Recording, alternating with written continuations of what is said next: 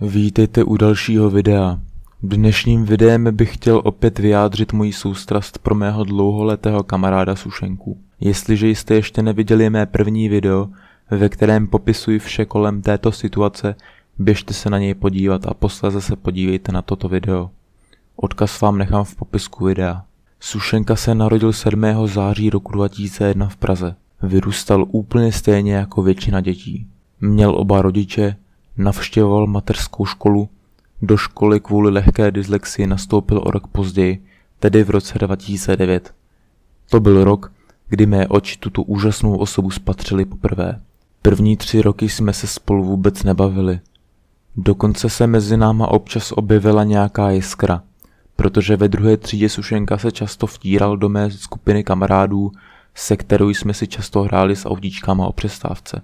Navíc v odpolední družině jsme oba byli v jiném oddělení, takže spojit se bylo ještě méně reálné. Měli jsme ho za podivína. Měl tou dobou jen jednoho kamaráda, jmenoval se Ondřej Berka.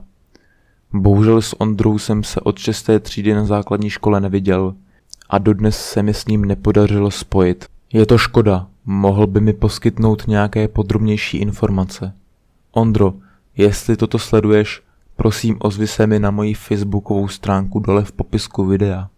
Někdy v první polovině čtvrté třídy jsem začal tvořit videa na tento YouTube kanál. Zanedlouho se o tom dozvěděli moji spolužáci, kteří si ze mě poté začali často dělat srandu. Až na jednoho člověka, byl to Sušenka, který mě jednoho dne kontaktoval na Skypeu. Nejspíše se bál mě oslovit ve škole kvůli tomu, že jsem si z něj v minulosti utahoval. Moc mě to mrzí a doufám, že mi Sušenko odpouštíš. Sušenkova zpráva mě velmi potěšila. Napsal, jestli bychom si nezahráli Minecraft. Pamatuju si, že ten den jsme Minecraft hráli snad celý den, což bylo pro mě v tu dobu velmi nezvyklé. Se Sušenkou jsem si opravdu rozuměl. Nebyl to ani týden a už se z nás stali nejlepší přátelé. Nejen, že jsme často hráli Minecraft, ale po škole jsme i často chodili ven a tam hráli dračí dupě, chodili nakopovat pamlsky do Lidlu, anebo si prostě jen tak povídali. Můj sociální status se ve třídě posléze dal opět dokupy a začal jsem si opět bavit s mými stalými přáteli. Tentokrát jsem se se Sušenkou dal do kolektivu, jsem ho tam dal, ano, dal jsem ho tam. V roce 2015 nastal první zlomový bod. Sušenku a později i mě přestal Minecraft bavit. Tím se vyřadila jedna aktivita, která nás oba spojovala. To nebyl žádný velký problém, stále jsme se se Šušenkou normálně bavili. Dokonce jsme natočili i pár vlogů, které ale naštěstí nejsou dostupné na mém YouTubeovém kanále. Druhý a tentokrát kritický zlomový bod byl v létě 2015. To jsme zrovna dokončili šestý ročník základní školy, ale sedmý ročník na této škole už jsem začal jenom já. Sušenka se s rodinou odstěhoval. Nebylo to sice daleko, ale bylo to daleko natolik, aby tato škola už dávno nepatřila mezi chůzdí dostupné základní školy. Už jsme nehráli Minecraft a už jsme ani neměli se jak výdat. Toto byl začátek konce. Od té doby jsem se s ním sešel pouze jednou a ještě jednou jsem na něj narazil v pražském metru na lince B. Přesné datum si bohužel nepamatuji, ale bylo to naposledy, co jsem Sušenku viděl. Sušenka nebyl nejpilnějším žákem, ale vždycky prospíval a neměl žádné větší problémy s kázní. Snad jen to, že jednu spolužákyni násilím přehodil přes tabuli.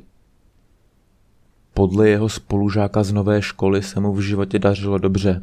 Měl kamarády, neměl problémy v rodině a ani ve škole, zkrátka nic, co by ho mohlo trápit. Ještě předtím, než dojdeme k detailům o jeho smrti, chci vám ukázat další konverzaci mezi mnou a jeho otcem, abyste viděli, že nejsem píča a na toto video mám povolení. Dobrý den, díky moc za váš souhlas s milým videem, moc si toho vážím, stejně jako moje YouTube komunita, která vašeho syna milovala. Měl jsem v plánu s jeho spolužákem natočit video, kde by mi ono o tom řekl víc, ale bohužel mi to na poslední chvíli odřekl a nyní mi neodpovídá na zprávy. Takže Petře běž do prdele, ty vole, nevím, za co ti jde, kurvá, vole. Informace mi poté poskytl jiný spolužák, který si ale nepřál být na videu. Tatínek píše. Dobrý den, pardon za spoždění, měl jsem dost práce, ale video klidně natočit můžete. To minulý video se mi velmi líbilo, stejně tak i reakce fanoušků, poděkujte jim. Hlavně zase prosím žádné osobní informace.